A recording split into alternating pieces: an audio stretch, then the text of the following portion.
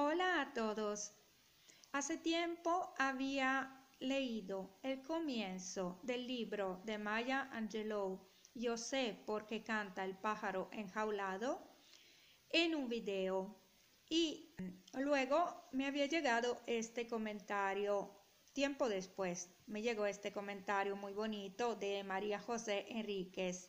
Sigue subiendo el trabajo de esta gran escritora. Lo haces muy bien. Sigue adelante. Y yo contesto, gracias.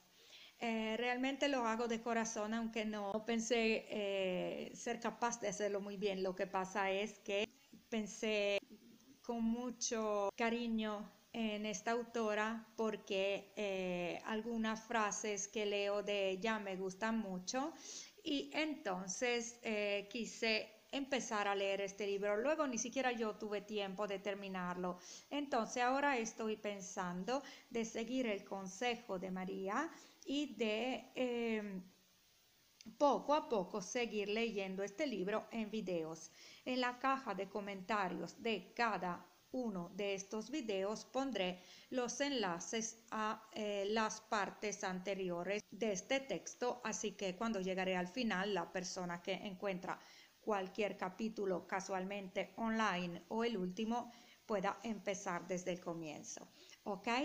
Gracias por seguirme y voy a empezar con la segunda parte. Claramente quien no conoce el libro y quiere eh, empezar a escuchar mis videos em, hoy, eh, es mejor que empiece aquí em, buscando este cuyo link, enlace voy a poner en la caja de comentarios de este mismo video con esta miniatura que es el primero, era el primero, ¿ok? Vamos con la segunda parte.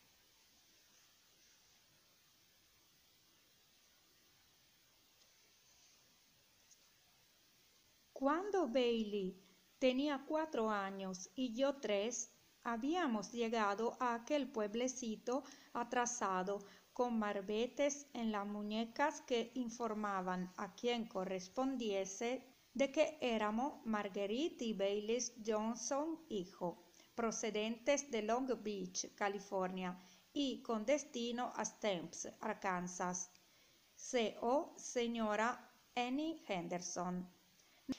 Nuestros padres habían decidido poner fin a su desastroso matrimonio y papá nos envió a casa de su madre nos había dejado a cargo de un mozo de tren que el día siguiente se apeó en Arizona y mi hermano llevaba los billetes prendidos en el bolsillo del abrigo. No recuerdo gran cosa de aquel viaje, pero cuando llegamos a la segregada parte meridional del trayecto, la situación debió de mejorar.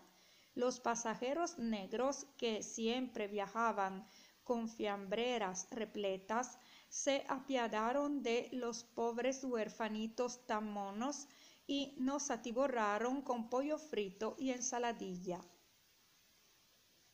Años después descubrí que miles de niños negros atemorizados habían cruzado solos los Estados Unidos para reunirse con sus padres, que habían conseguido una situación acomodada en ciudades del norte, o para volver con sus abuelas en ciudades del sur, cuando el norte urbano dejaba de cumplir sus promesas económicas.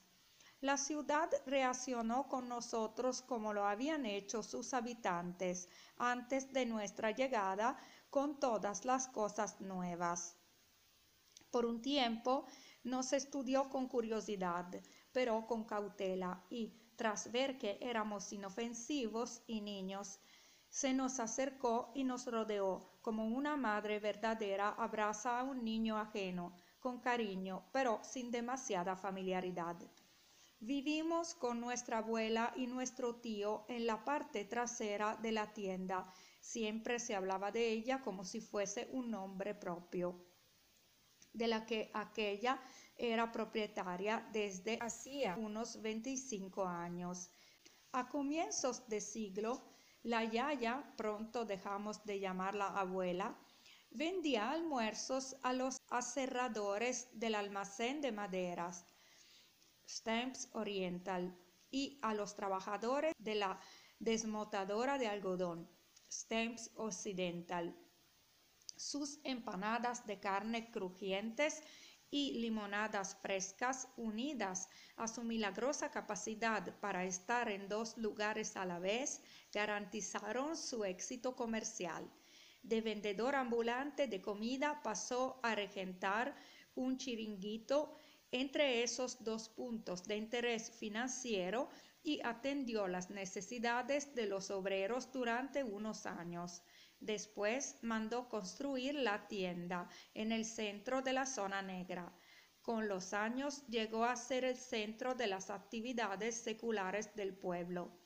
Los sábados los barberos sentaban a sus clientes a la sombra en el porche de la tienda y los músicos ambulantes en su incesante trajinar por el sur se recostaban en sus bancos y cantaban sus tristes canciones de, de brazos, mientras tocaban sus birimbaos y sus guitarras hechas con cajas de puros. El nombre oficial de la tienda era Almacén General W.M. William Johnson. Los clientes podían encontrar en ella comestibles una buena diversidad de hilos de colores, salvado para los cerdos, maíz para las gallinas, petróleo para pinques, bombillas para los ricos, cordones de zapatos, brillantina para el pelo, globos y semillas de flores. Lo que no estuviera a la vista bastaba con encargarlo hasta que nos familiarizamos lo suficiente con la tienda y ella con nosotros, estuvimos encerrados en una atracción de feria cuyo vigilante se hubiera marchado para no volver. Todos los años veía yo el campo situado frente a la tienda volverse de un verde oruga y después gradualmente blanco como la escarcha. Sabía exactamente cuánto tiempo pasaría hasta que los grandes camiones entraran en el patio delantero y cargasen al amanecer a los recolectores de algodón para llevarlos a las plantaciones que habían sobrevivido desde la época de la esclavitud. Durante la temporada de la recolección, mi abuela se levantaba a las cuatro de la mañana, nunca usaba despertador se arrodillaba en el crujiente entarimado y salmodiaba con voz somnolienta. Padre nuestro, gracias por dejarme ver este nuevo día. Gracias por no permitir que la cama en que yací anoche fuera la tabla en que reposara mi cadáver, ni la manta, mi sudario. Guía por el camino recto mis pasos en este día y ayúdame a poner freno a mi lengua. Bendice esta casa y a todos cuantos en ella viven. Gracias en nombre de tu Hijo Jesucristo. Amén. Antes incluso de haberse levantado, nos llamaba y daba órdenes. Después metía sus grandes pies en zapatillas hechas en casa y recorría el desnudo piso de madera, fregado con lejía, para encender el quinqué de petróleo. La lámpara de la tienda daba la sensación de estar en un apacible mundo de ensueño que me hacía sentir la necesidad de hablar en voz muy baja y caminar de puntillas.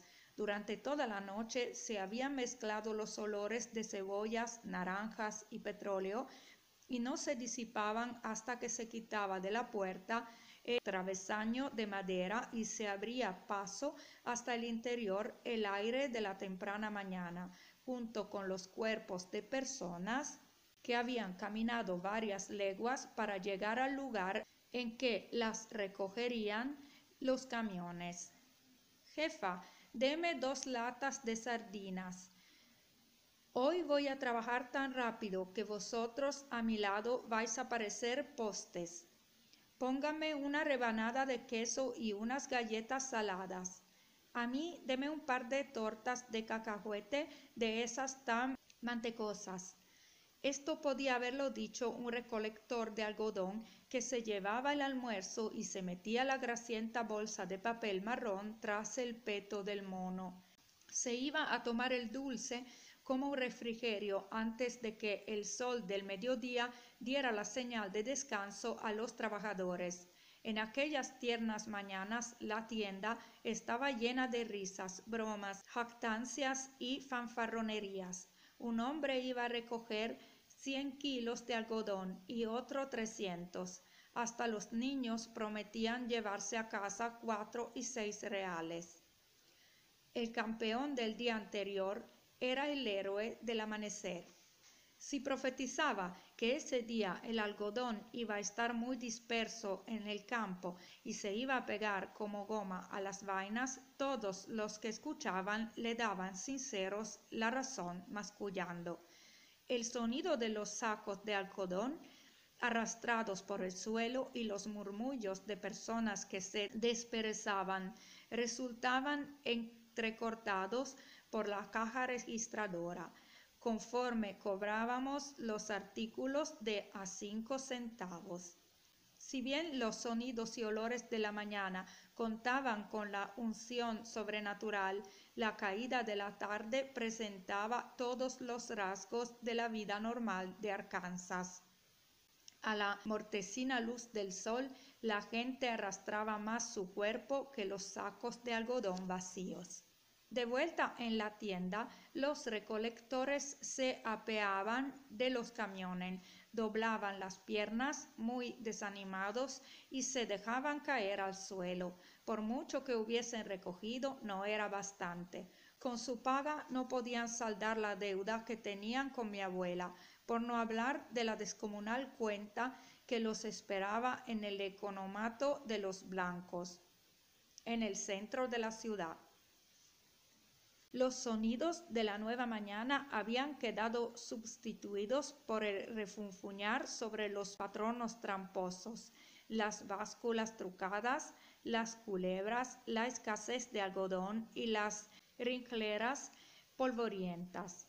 Años después yo iba a oponerme con tan desmesurada rabia a la descripción estereotipada de alegres recolectores de algodón cantando mientras trabajaban que mi paranoia, según decían, iba a resultar violenta hasta amigos negros, pero es que yo había visto los dedos heridos por las aviesas vainas de algodón y había presenciado la resistencia de espaldas, hombros, brazos y piernas a satisfacer una sola exigencia más.